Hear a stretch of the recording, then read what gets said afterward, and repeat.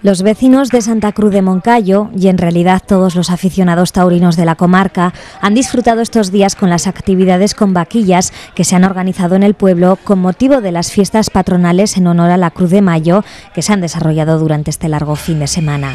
Entre el público había incluso niños muy pequeños que no se perdieron detalle de lo que hacían los animales.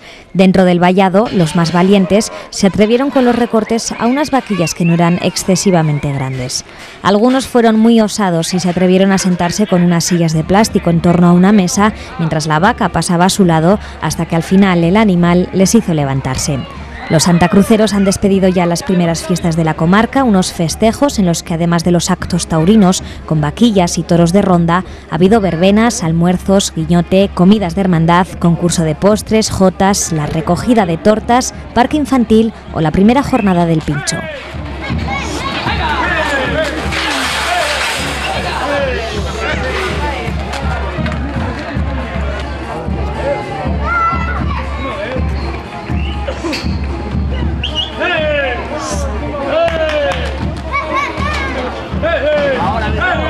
Hey!